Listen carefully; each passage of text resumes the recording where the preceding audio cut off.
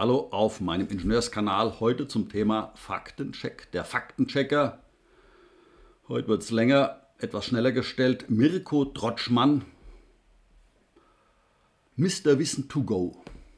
Und ich fürchte, Ihnen wird es nachher ziemlich übel, wenn Sie diese ganzen Sachen sehen und die Sachen, die er eben nicht erwähnt und wie wir hören. Okay, fangen wir an. Ich habe es jetzt etwas schneller gestellt, die Sache. Dass Russlandpräsident Wladimir Putin scharfe Drohungen ausspricht, das kommt immer wieder vor. Mal haben diese Drohungen mehr, mal weniger Substanz. Bei einem Thema war er in der Vergangenheit aber besonders deutlich, nämlich bei einem möglichen Beitritt der Ukraine zur. NATO. Wenn die Ukraine tatsächlich Teil des westlichen Verteidigungsbündnisses werden würde, so hat es Putin immer wieder gesagt, dann würde das harte Reaktionen hervorrufen. Mehr ins Detail ist er dabei nie gegangen. Er hat also nicht gesagt, was das genau für Reaktionen wären, aber es ist klar, Putin möchte um jeden Preis verhindern, dass sich die Ukraine der NATO anschließt. Und das kann man wörtlich nehmen. Auch der russische Angriffskrieg gegen die Ukraine hat mit genau diesem Szenario zu tun. Gut. Aber was würde denn passieren, wenn die NATO sich tatsächlich noch mehr nach Osten ausweitet? Wie würde Russland reagieren und wie wahrscheinlich ist das alles? Darum geht's jetzt. Gut, also, das hat er immer wieder gesagt. Er will nicht, dass die NATO, äh, dass die Ukraine in die NATO kommt. Und das wird auch nicht passieren, da Russland jetzt bis Polen durchmarschiert. Da bin ich mir hundertprozentig sicher. Und weswegen er das machen wird, werden Sie auf diesem Kanal erfahren. Und was ein Herr Mirko Trotschmann für ein Mensch ist, werden Sie auch erfahren.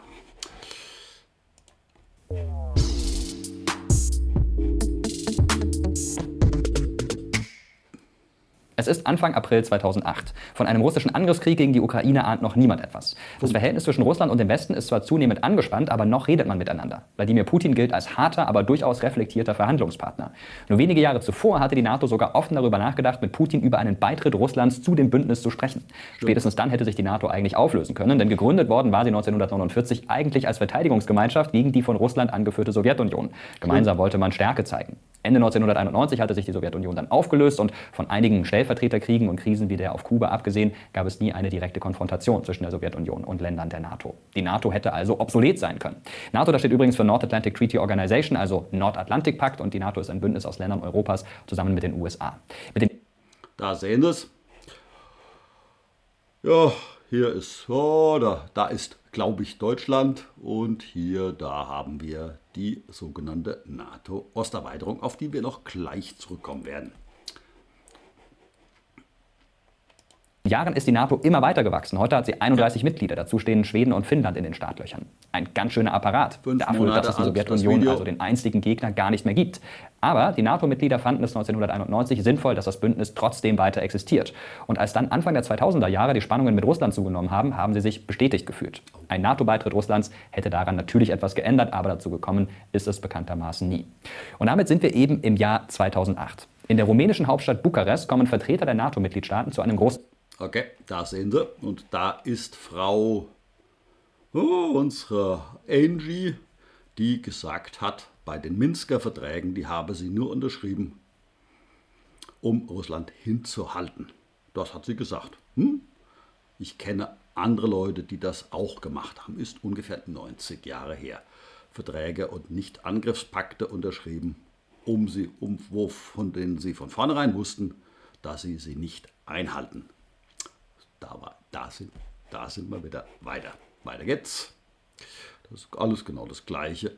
Die Geschichte wiederholt sich. Treffen zusammen. Die Stimmung ist grundsätzlich gut. Ein Jahr später wird die NATO nämlich 60 da Jahre alt und man stimmt sich schon mal so ein kleines bisschen auf die Feierlichkeiten ein. Die werden da durchaus auch schon geplant. Außerdem überlegen die Mitgliedstaaten, welche Länder könnten bald neu zur NATO gehören. Diskutiert ja. wird dabei unter anderem über die Ukraine und Georgien. Ja. Über diese beiden heißt es in Absatz 23 der Abschlusserklärung. Wir haben heute vereinbart, dass diese 2008. Länder Mitglieder der NATO werden. Daher werden wir nun eine Phase der intensiven Auseinandersetzung mit beiden auf hoher politischer Ebene beginnen, um die noch offenen Fragen zu klären. Ja, und nicht nur das, beiden Ländern wird auch ein sogenannter Membership Action Plan, kurz MAP, in Aussicht gestellt. Also eine Art Fahrplan, in dem steht, was passieren muss, damit es mit der Mitgliedschaft klappt. Das Ziel ist klar, Irgendwann, in gar nicht so weiter Zukunft, sollen auch die Ukraine und Georgien Mitglieder der NATO werden.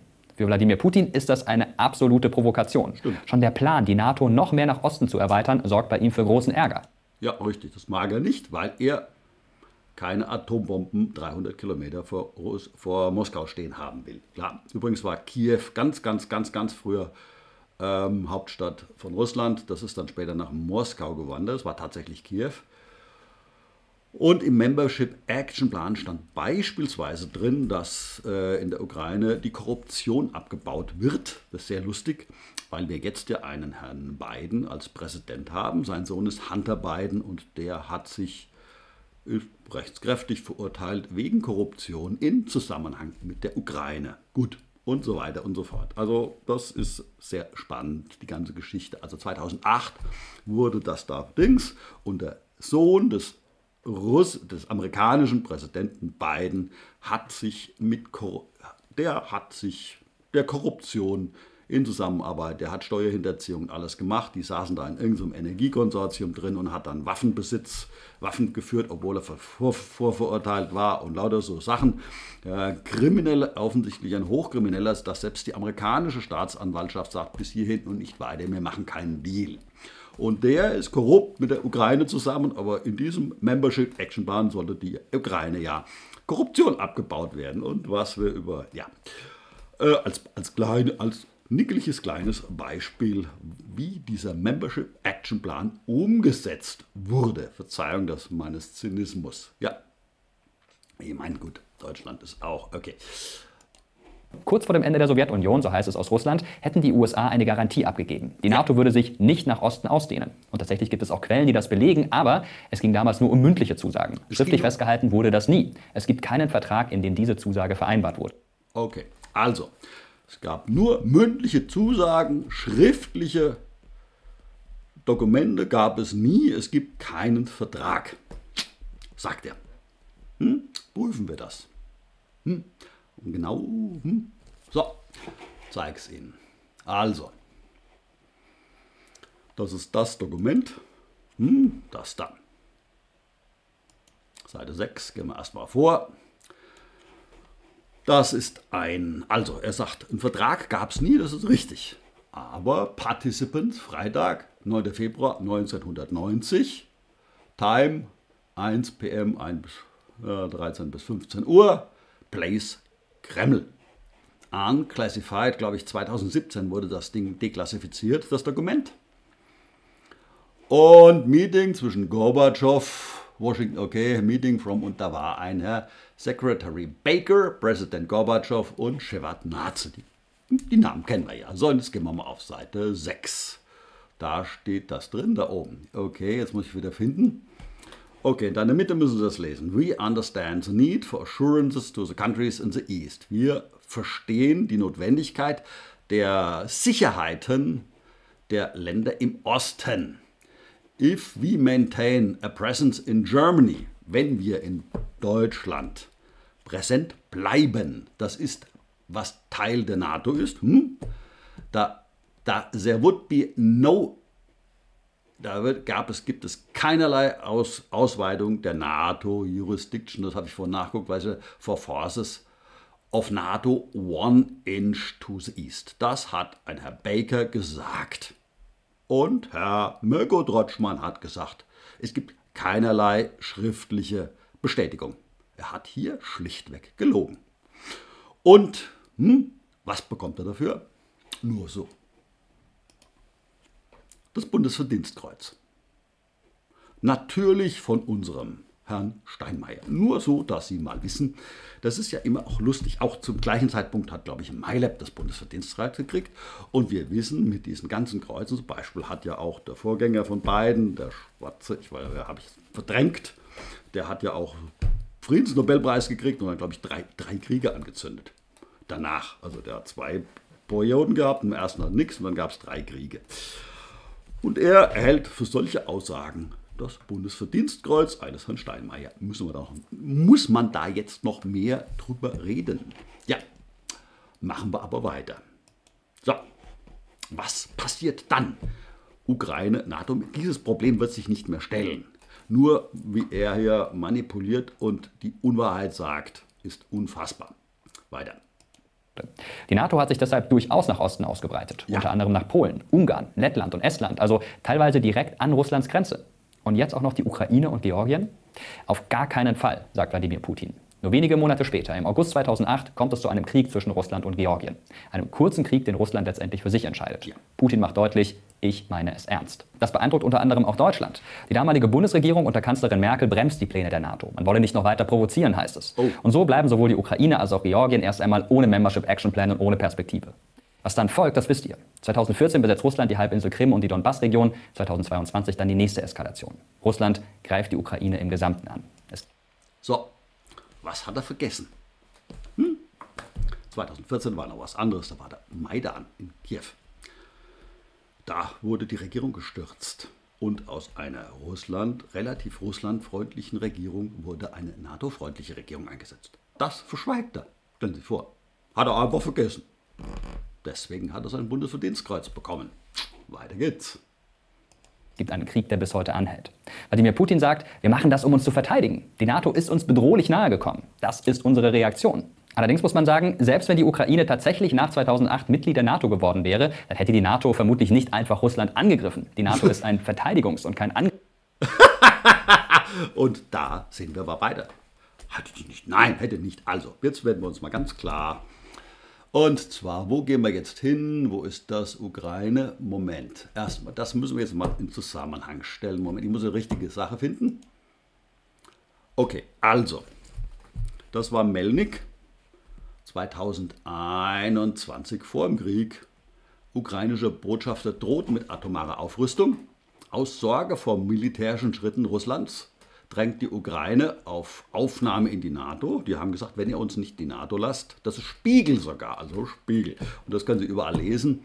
Die Ukraine erwägt den Aufbau eines Atomwaffenarsenals, sollte das Land nicht Mitglied des Verteidigungsbündnisses NATO werden. Entweder wir sind Teil eines Bündnisses wie NATO und drangen auf oder wir haben eine einzige Option, dann selbst aufzurüsten. Also die Ukraine hat ganz klar gesagt, wir besorgen uns Atomwaffen. Das war 21. Okay? Und ähm, wo müssen wir das dann? Und dann hat während des Krieges Zelensky einen atomaren Präventivschlag gegen Russland verlangt. Also, für die Ukrainer ist ein Atomwaffeneinsatz, die wollten das. Er hat das verlangt. Das bedeutet, Putin behauptet ja, er wolle keine Atombomben vor, seinem, vor, vor der russischen Hauptstadt stehen haben. Und Zelensky hat tatsächlich einen atomaren Einsatz gegen Russland verlangt. Das heißt, für die Ukrainer ist ein Atomwaffeneinsatz, wenn da Atomwaffen gestanden hätten, wäre genau das das Ziel gewesen. Sie hätten, sie hätten äh, Russland mit Atomwaffen angegriffen. Und was der Herr, was der Herr, was, was der Herr, ähm, hm, ja, ist ja ein Verteidigungsbündnis, ja, wir greifen ja nichts an. Also wir müssen mal vorsichtig darauf hinweisen, dass, Punkt 1, der Angriff 1999, genau 60 Jahre, hat Deutschland kräftig mitgeholfen, in Serbien und Kroatien eine NATO-freundliche Regierung einzusetzen, um die NATO-Osterweiterung weiterzuführen die ja, die ja angeblich nicht verboten ist, aber es doch Protokolle gibt und er sagt, es gäbe nichts Schriftliches, schon mal, was überhaupt nicht stimmt. Da ist nämlich das Problem bei der ganzen Geschichte. Und ähm, jetzt möchte ich Ihnen nochmal einen interessanten Artikel aus der Jüdischen Allgemeinen zeigen. Wo ist der jetzt? Ich hoffe ihn. Ja, da. Die Jüdische Allgemeine. Und das war, der Artikel ist von 2014. Und zwar nach dem Maidan, den er so gerade, also nach der Revolution in der Ukraine, die er so kräftig unterschlagen hat. Da lesen Sie mal das hier. So. Ukraine mit Nazis gegen Putin. Das steht da. Gut.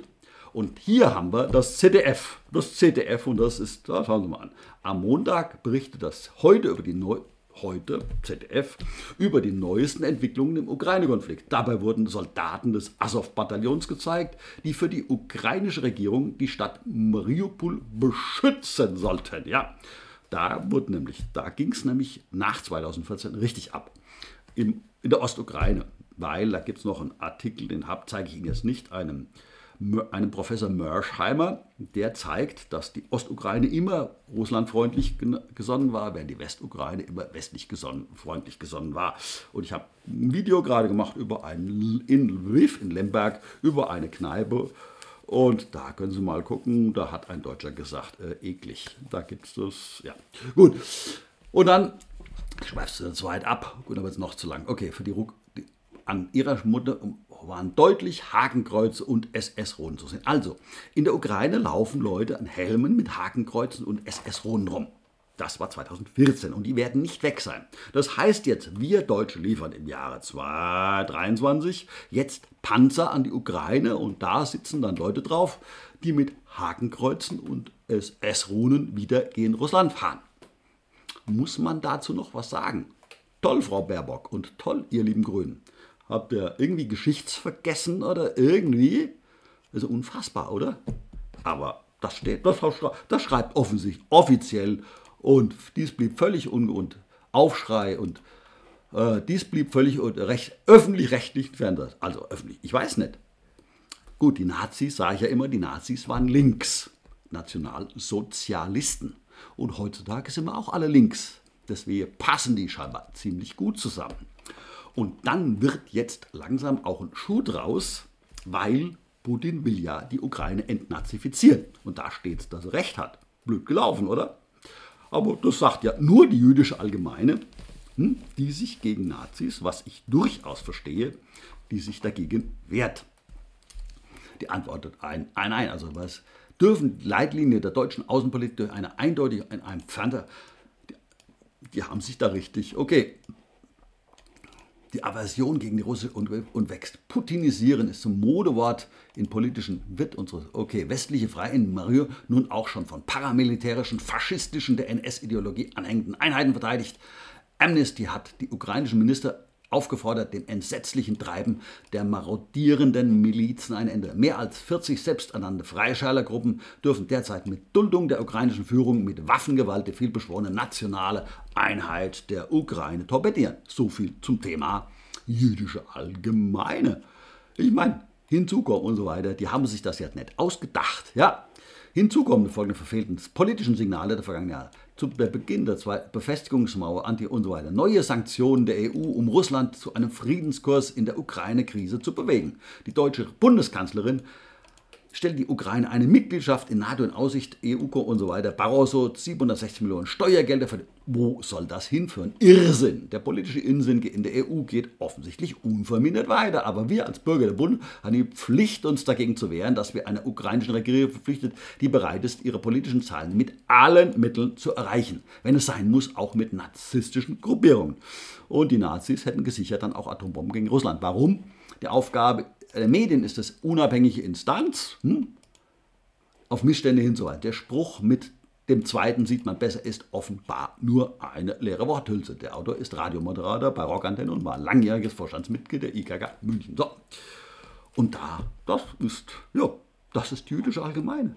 Die sagen ganz klar, da sitzen Nazis. Und, hm, und die sagen, und der sagt damals schon, ist es, das zweite deutsche Fernsehen ist eine Propagandashow, ist das. Weil man sowas nicht, und es gibt dann mehrere Beiträge, auch von Anne Will und so weiter, wo dann die Nazis da rumhopsen. Weiter geht's. Aber das ist ja, ist ja nur die jüdische Allgemeine. Die haben, ja, die haben ja mit den Nazis überhaupt nichts zu tun. Man muss dazu sagen, eben wie gesagt, beim beim Massaker von Babin Yar hat man in, im Stadtgebiet von Kiew, das habe ich schon fünfmal gesagt, an einem Tag 35.000 Juden umgebracht. An einem Tag. Das habe nicht einmal, also hm, diese Dichte habe nicht einmal, hat man in Deutschland nicht erreicht. Wenn wir irgendwie was eigentlich ein übler, ich weiß, dass das nichts Schönes ist, mein Vergleich, aber in Dachau wurden über diese Jahre, glaube ich, 42.000 über Jahre. Und hier hat man an einem Tag 35.000 Leute ermordet. Und dass der Antisemitismus scheint dort extrem zu sein, weil ich da schon, habe ich schon mal erzählt, Entschuldigung. Ja, weiter geht's da. Verschluck ich mich. Weiter geht's. So. Ich mache auch nicht ganz durch. Begriffsbündnis. Aber das blendet Putin bei seinen Erklärungen aus. Das sind aber letztendlich auch nur Gedankenspiele, die die. Ver also, ist natürlich absurd, wenn man sagt, wir sind nur ein Verteidigungsbündnis. Frau Dr. von der Leyen hat 2015 oder 16 bei Anaconda, glaube ich, 1000 Panzer an die russische Grenze geschickt. Und ein Panzer ist ein Angriffsfahrzeug. Wenn sie doch den, wenn sie doch den Angriff gegen Russland abwehren hätte wollen, hätte sie ganz viele Panzerabwehrwaffen dahin geschickt und nicht Panzer. Aber, und dann, ja, okay, aber äh, ich meine, das ist rein, alles komplett reine Provokation Russlands, wenn ich da 1000 Panzer auffahre. Das heißt also, der Krieg war genau so gewünscht und gewollt. Unter anderem von Frau von der Leyen, die gestern jemand irgendwie als Frau Genozid eine irische Politikerin hat, Frau, hm, Frau hm, als, als, ein irische Politiker, auch vor dem Europäischen Parlament, glaube ich, hat Frau von der Leyen als Frau Genozid bezeichnet. Nicht, nicht ich. Das war eine irische Politikerin, eine rothaarige, die hat sich richtig aufgeregt. Da ging es um Gaza-Krieg nämlich, wo es ums Öl geht. Hier geht es unter anderem auch um Lithium. Denn Lithium ist da ziemlich viel und das brauchen die Grünen für ihre Energiewende. Vergangenheit betreffen. Kommen wir jetzt mal in die Gegenwart und zu der Diskussion um eine Mitgliedschaft in der NATO für die Ukraine. Direkt nach Beginn des Angriffskriegs von Russland gegen die Ukraine haben führende ukrainische Politiker immer wieder gesagt, jetzt muss endlich das eingelöst werden, was uns 2008 in Bukarest versprochen wurde. Die Ukraine muss in die NATO. Der ukrainische Präsident Volodymyr Zelensky betont bei jeder Gelegenheit, dass er genau das erwarten würde. Und inzwischen hat die Ukraine auch bessere Karten. Fast alle Mitglieder der NATO sind für einen schnellen Beitritt der Ukraine. Das wurde zuletzt bei einem genau. Treffen Mitte Juli klar. Dabei ging es auch um einen Fahrplan für das Land, einen ganz konkreten. Rückendeckung bekommt die Ukraine nicht nur von den Staaten aus Osteuropa, sondern auch von den USA und der Türkei. Anders sieht es bei Deutschland aus. In der Bundesregierung gibt es nach wie vor viele Bedenken. Zu groß ist die Angst davor, dass der Krieg in der Ukraine sich noch ausweiten könnte, weiter eskalieren könnte. Ähnlich sieht man es auch in Frankreich. Gegenwind gibt es außerdem aus Ungarn. Das Land ist zwar ja. Mitglied der EU ja, und der NATO, arbeitet aber nach wie vor mit Russland zusammen. Der ungarische Präsident Viktor Orban möchte Wladimir Putin nicht verprellen. Und so gilt weiterhin das, was der NATO-Chef Jens Stoltenberg Anfang Juni in einem Gespräch mit dem ZDF gesagt hat. Nämlich, Zitat, ich kann Ihnen nicht genau sagen, wann die Ukraine Mitglied wird, aber was ich sagen kann, dass alle Mitgliedstaaten sich einig sind, dass sie beitreten wird. Grund für das Zögern wäre, sagt Stoltenberg, der anhaltende Krieg. Und dass er sich so äußert, hängt mit einer Studie zusammen, die die NATO im September 1995 veröffentlicht hat. Darin geht es um die Kriterien für eine Erweiterung des Bündnisses und im ersten Kapitel heißt es in Absatz 6, Staaten, die externe Territorialstreitigkeiten haben, müssen diese Streitigkeiten mit friedlichen Mitteln beilegen. Ja, und zu solchen Territorialstreitigkeiten gehören auch Kriege, bei denen ein Land angegriffen worden ist, wie bei der Ukraine. Außerdem spielt hier Artikel 5 des NATO-Vertrags eine Rolle. Ich zitiere mal. Die Parteien vereinbaren, dass ein bewaffneter Angriff gegen eine oder mehrere von ihnen als ein Angriff gegen sie alle angesehen wird. Sie vereinbaren daher, dass im Falle eines solchen bewaffneten Angriffs jede von ihnen Beistand leistet. Das würde bei der Ukraine bedeuten, würde das Land noch während des Krieges Mitglied der NATO werden, dann würde der Bündnisfall greifen. Die USA und andere Mitgliedstaaten müssten sich dann direkt an dem Krieg beteiligen und direkt gegen Russland kämpfen. Bisher passiert das ja nur indirekt über Waffenlieferungen und andere Dinge. Genau davor schreckt die NATO zurück. Jetzt nehmen wir aber mal an, der Krieg in der Ukraine wird Ja, genau das ist das. Und Sie müssen sehen, ganz klar, Zelensky will den sofortigen Eintritt in die NATO. Das bedeutet, er will den Weltkrieg. Wenn man das ja, sehen wir, weil genau das sind die Statuten. Er wird angegriffen, also müssen die anderen helfen. Zelensky will Weltkrieg und solchen Leuten geben wir Geld. Für Leute, die Weltkrieg wollen und die einen atomaren Präventivschlag gegen andere Länder als probates Mittel sehen. Diesen Leuten geben wir Geld. Wir, der wir die Nazi-Ratten in Deutschland hatten und wir machen genau irgendwie, ich weiß nicht, das müssen Sie entscheiden, was ich hier da zitiert habe, unter anderem von der dümmlichen jüdischen Allgemeinen, die natürlich sowieso nur lügt. Genau wie Putin so lügt, er will ja entnazifizieren und da drüben gibt es natürlich keine Nazis, sonst würde nämlich das komplette Konstrukt zusammenbrechen. Und deswegen haben wir eben ihn hier auch weil er hier ja, weil er hier, ähm, weil er hier ja, da, ja, er hier das Bundesverdienstkreuz bekommt, weil er gewisse Sachen wie die Schriftlichkeiten und so weiter einfach weglässt. Hm, weiter geht's, aber ich mache jetzt gleich Schluss. Nicht bald beendet. Zum Beispiel durch eines der Szenarien, die ich in dem Video oben auf dem i beschrieben habe. Guckt da gerne mal rein. Was wäre dann? Was würde dann passieren? In so einem Fall müsste die NATO ihr Wort halten genau. und sich möglichst schnell daran machen, die Ukraine aufzunehmen. Das Wichtigste dabei wäre der vorhin schon erwähnte Membership Action Plan, MAP. Das kann man auch als eine Art To-Do-Liste betrachten, die die Ukraine einhalten müsste. Was würde in so einer To-Do-Liste drinstehen? An dieser Stelle sind wir wieder bei der Studie aus dem Jahr 1995. Die listet nämlich genau auf, welche Voraussetzungen ein Staat erfüllen muss, damit er der NATO beitreten kann. Die wichtigsten Punkte dabei sind eine funktionierende Demokratie mit Gewaltenteilung, eine stabile Wirtschaft, unabhängige Gerichte, faire Behandlung von Minderheiten und vor allem die Fähigkeit, militärisch die NATO-Standards zu erfüllen. Es klingt vielleicht erst einmal alles sehr selbstverständlich, aber in Bezug auf die Ukraine gibt es da durchaus noch einige Probleme. Das Land hat zwar in den vergangenen Jahren einige Fortschritte gemacht, was Demokratie und Rechtsstaat angeht, aber trotzdem ist die Ukraine immer noch nicht dort, wo die NATO ihre Mitglieder gerne hätte. In dem renommierten Demokratieindex der Wochenzeitung The Economist steht die Ukraine aktuell zum Beispiel auf Platz 87 von insgesamt 167 Ländern, hinter Tunesien und Liberia. Auch in der sogenannten Demokratiematrix der Universität Würzburg sieht es nicht besser aus. Dort steht die Ukraine sogar nur auf Platz 95 allerdings mit dem Jahr 2021 als Maßstab. Einer der Hauptgründe für diese Ergebnisse sind Probleme mit Korruption und mächtige Oligarchen in der Ukraine. In diesem Bereich hat sich zwar seit dem russischen Angriff einiges getan, aber Experten gehen trotzdem davon aus, dass die Ukraine noch einige Jahre brauchen dürfte, bis sie tatsächlich die Vorgaben der NATO erreichen kann. Ein weiteres Problem könnte außerdem der Schutz von Minderheiten sein. Ungarn beklagt zum Beispiel schon seit längerer Zeit, dass die Menschen mit ungarischen Wurzeln in der Ukraine nicht gleichgestellt seien. Das sind immerhin rund 100.000 Menschen. Unter anderem habe das mit einem Gesetz zu tun, das vorschreibt, dass an Schulen zum Großteil ukrainisch gesprochen werden muss. Auch dort, wo fast nur Angehörige von Minderheiten leben. In einem anderen Bereich sieht es dagegen deutlich besser aus. Durch die Militärhilfen aus dem Westen wird die Armee der Ukraine nach und nach immer moderner. Die alten Waffen und Munition aus der Sowjetzeit verschwinden. Also Dafür glaub, bekommt das Land Systeme aus NATO-Staaten. Außerdem werden ukrainische Soldaten durch die also ich mache jetzt Schluss. Also ähm, wir haben ja vorhin, wir haben ja vorhin gesehen, der Umgang mit Minderheiten haben wir ja gesehen. Gut, das war 2014 und äh, in der Ukraine gibt es mittlerweile ein Gesetz, das den, das, ähm, den Gebrauch anderer Sprachen als der ukrainischen verbietet.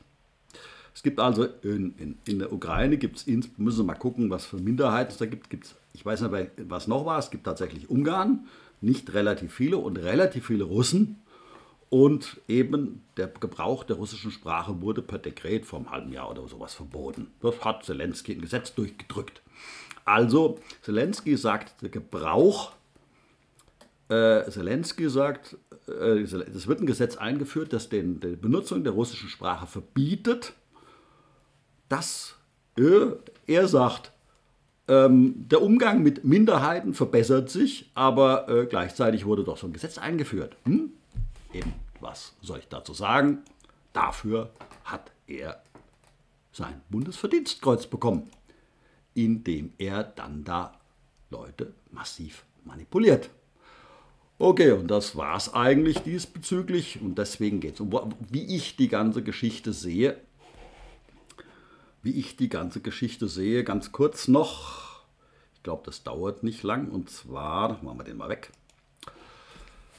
Ja, wir haben eben, gut, die, die, die Nazis haben dann im Dritten Reich, haben die, gut, haben, haben, haben, erst, haben die da alle überfallen und nicht Angriffspakt mit Russland und haben denen gesagt, wir müssen die fertig machen und so weiter und haben die Russen damals mit wahnsinnigen Verlusten mit rund 25 Millionen Toten dann die Nazis zurückgeschlagen und dann kam, dann 1944 dann die USA und Großbritannien eingetreten, dass die, dass die Bolschewiki nicht ganz Deutschland ersetzen. So, und jetzt haben die Ukrainer mit ihrem offensichtlich, weil es gibt viele Hinweise, dass es da der, ähm, eben der ne, Antisemitismus extrem ähm, vorangeschritten war schon die ganze Zeit. Ja, Antisemitismus ist ja nichts, was wir Deutsche erfunden haben, was nicht heißen soll, dass wir die ganz tollen sind. Aber wir haben den bestimmt nicht erfunden. Und wie, Sie, wie ich Ihnen vorhin gesagt habe, beim Massaker von Babin, ja, 35.000 Tote an einem Tag ist schon eine echte Leistung, Verzeihung des Zynismus. Anders kann, anders kann man aber sowas nicht äh, mit, ohne Zynismus kann ich sowas nicht in meinem Kopf unterbringen. Und aus der Ukraine, habe ich schon mal gesagt, habe ich vom Jahr 1900 schon ein Ding gesehen, wo der Antisemitismus da extrem fort. Und die Ukrainer haben sich da offensichtlich an Hitler drangehängt und dann, um, dann, um dann in vorauseilendem Gehorsam dann gegen die Russen vorzugehen. Und dann haben die ja verloren und das ist ein Schmach, der offensichtlich immer noch in den ukrainischen Köpfen zum Teil herumgeistert. Das heißt jetzt nicht, dass jeder Ukrainer Nazi ist, Vorsicht. Aber eben, ja gut, aber Slava Ukraini als Spruch und so weiter, den selbst unsere, unsere ähm, Schriftsteller und so weiter hier verbreiten, wenn die mal wüssten, was das bedeutet, sollten sich mal darüber überlegen, wenn man da Slava Ukraini ruft. Aber selbst wir als Intellektuelle, als Pseudo-Intellektuelle haben, haben uns mit dieser ganzen Sache nie richtig beschäftigt. Und das ist für mich der Grund, weswegen die Ukrainer haben das irgendwie, die, die, die Niederlage gegen die Russen nie verdaut Und jetzt wollen die sich noch rächen. Und deswegen, offensichtlich, ich weiß es nicht, in Deutschland hat man nach dem Zweiten Weltkrieg entnazifiziert, zwar ziemlich kräftig, aber ähm, so, in Deutschland hat man kräftig entnazifiziert. Aber ich weiß nicht, wie das in den Ostländern da so gewesen ist. Vielleicht sah man das da auch nicht so wichtig und so weiter. Und eben der KGB hat ja den, den, den Stepan Bandera erst 1954 in München liquidiert, die er dann ohne, ohne Prozess, er meint bei den Nürnberg, Nürnberger Prozessen, warum Nürnberger Prozesse? Weil Nürnberg war die Hochburg, Nürnberg war die Hochburg der Nazis, weil die Nazis waren so ein bisschen so esoterisch veranlagt. Da müssen Sie mal gucken, Schwabenland und so weiter, waren so, die haben dann so, so, so, so, so aus der germanischen Geschichte solche Sachen hervorgeholt. Und das war Nürnberg, da Franken war eher als, äh, als, als München oder sowas. Deswegen hatten die Nürnberg als, oh, als, als, als, als, als, als Hauptsitz, Anredeplatz und so weiter. Deswegen war das hauptsächlich Nürnberg. So. Und von dieser, ja gut, und da, da waren, müssen wir mal gucken, da gibt es spannende Sachen. die, diese Verschwörung, ich weiß, aber die ist spannend, wie die da gedacht haben. Die haben da diese Esoterik, in Esoterik, also diese, Sie wissen, was ich meine, deswegen diese Runen und so weiter, was vorhin die jüdische Allgemeine, das, das ist alles Nazi-Gehirn, schwachs Gehirngeschwurbel quasi, woran die sich dann da festhalten, an das Germanische und so weiter. Und genau wie germanisch halt Hitler war, wie er aussah als blond und blauäugig, war der ganz sicher. So, Entschuldigung. Und von der Seite ähm, wird, wird natürlich, also so ich es sehe, Russland, wenn man diese Dinge sieht, niemals die Ukraine in die NATO lassen, der, wenn es mit allen, mit allen Mitteln verhindern. Mit allen. Wenn da jetzt wieder einer versucht. Die einzige Möglichkeit, die wir ja sagen, ist es ja von Zelensky, einen Weltkrieg zu erzeugen, den die ja haben wollen, weil Zelensky ja einen atomaren Präventivschlag gegen Russland verlangt hat was man sich mal einfach hier reinziehen muss. Er irritiert mit diesen Aussagen. Ja, normalerweise muss man solche Leute fallen lassen wie eine, wie, wie, wie eine heiße Kartoffel. Aber unsere Grünen und unsere Politiker wie Herr Steinmeier ähm, werden dann, machen dann ja noch, äh, unterstützen die Amerikaner ja noch dazu, diese Bomblets, diese, diese, diese komischen Bomben da dann auch noch, was ich in einem anderen Video gemacht, gezeigt habe, dass das mh, hm, offensichtlich nicht so ganz. Ich weiß äh, das müssen Sie entscheiden, wenn Sie den Gesetzestext lesen über dieses Gesetz zur Streubomben von 2009, den er selbst unterschrieben hat. So, damit wäre ich eigentlich fertig. Ziemlich langes Ding, sorry, aber für, für, wie sagte mal Harald Lesch, für, für einfache, für viele Sachen gibt es ja, eine einfache und kurze, aber falsche, für, für, für komplexe Dinge gibt es immer einfache und kurze, leicht verständliche, aber falsche Antwort, hat er irgendwie gesagt. Jetzt möchte ich noch mal gucken. Und zwar gucken Sie mal das an. Das ist, äh, ja, gucken Sie hier mal rein. Und das ist ein sehr spannender Artikel. Ernst Rochholz, Pfarrer in schwerer Zeit von Hergert. Da hat jemand, der war in Stein bei Nürnberg, da hat der Herr Hergert hat alle, hat offensichtlich das handschriftliche Zeug alles ausgewertet aus dem Pfarrhaus. Im, ja, aus dem Pfarrhaus, aus dem alten, wahrscheinlich aus dem neuen. Das neue war in Gasweg 4, das weiß ich. Ähm, und ähm, hier müssen Sie mal gucken, was da alles gelaufen ist. Da gab es dann die deutschen Christen, die deutschen Christen, die waren alles, waren alles. Und schauen Sie mal hier diesen Artikel, der ist glaube ich zwölf Seiten lang. Kann Ihnen empfehlen, Ernst Rochholz, Pfarrer in schwerer Zeit. Das ist höchstgradig, was da gelaufen ist. Ja, und äh, sagen wir so, der, diese Person habe ich leider nicht mehr kennengelernt. Die ist mit mir verwandt, genau wie der, der an meinem einen Ohr, der hieß, hat denselben Namen gehabt. Der ist, musste in die Schweiz emigrieren. Er hat das durchgehalten bis zum Jahr 1950 und hat da, ja, lesen Sie es mal durch, was da im Dritten Reich los war. Vielen Dank für Ihr Gehör, euer Ingenieurskanal mit diesem sehr schwierigen Thema in meinen Augen. Ich kann da auch nur meine Sicht der Dinge sagen, aber so setzen sich für mich die Dinge einfach zusammen. Ja, danke.